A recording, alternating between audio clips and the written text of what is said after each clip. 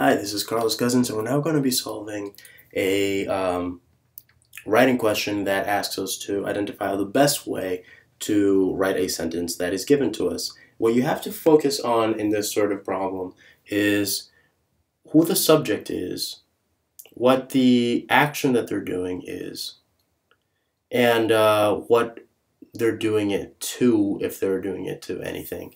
Um, so subject, verb, object, and this is the this is the order in which English sentences should be written. So let's go ahead and see um, whether or not these sentences satisfy this requirement first. Um, aspiring astronaut Rosamund Banks, the youngest person to hold her breath for three minutes underwater, doing it just two days after her 11th birthday.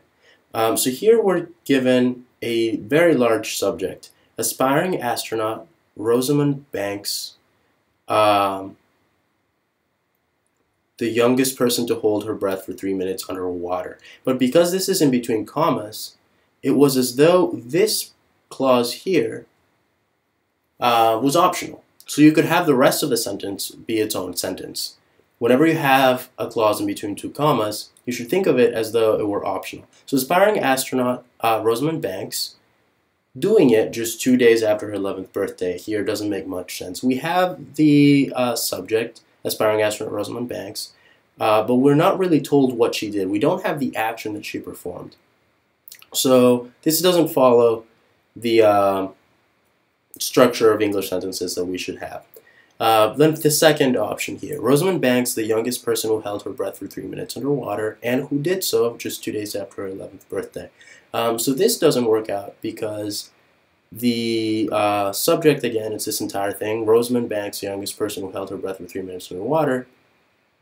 But then again, we're not told what she did, and who did so just two days after her 11th birthday, um, doesn't tell us what the action actually was. A better uh, way of saying this would be um, even just did it just two days after 11th birthday, even though it would leave a lot of room for um, misunderstanding because we wouldn't know what it is. Rosamund Banks became the youngest person to have held her breath for three minutes underwater and did it just two days after her 11th birthday. So here we have um, a full sentence in that we have Rosamund Banks became the youngest person to have held her breath for three minutes underwater. Um, Rosamund Banks is the subject, became um, is well became the youngest person to have held her breath for three minutes underwater is what she did, and this is this would be the entire um, action that she did. Uh, but then that's already a full sentence. And did it just two days after her 11th birthday could be a different sentence. She did it, for example, two days after her 11th birthday. Um, so this is a run on. And this is why this sentence doesn't work. And then this fourth option here.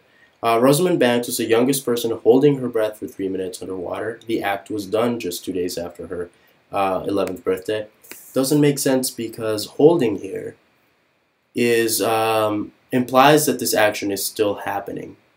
To hold lets us know that we're talking about the act of holding in the abstract, in general. It's an infinitive. Whereas holding uh, makes it feel as though it were happening right now in the present. So the action here is not um, what it should be. Also, the act was done uh, could again be its own separate sentence. So uh, we're introducing a completely new subject here, which is the act. And what's done is the um, the verb here, and then you have the rest of the sentence just two days after her 11th birthday. So this is not only a run-on, but holding isn't correct. And then we have this last option here. Rosamund Banks became the youngest person to hold her breath for three minutes underwater, doing so just two days after her 11th birthday. Um, so this is better because you can't really have doing so just two days after 11th birthday be a separate sentence. Um, this is simply extra information that we're having within the same sentence. So this is the best option. I hope that this explanation helped figure out this problem. Um, and good luck with this. Happy prepping!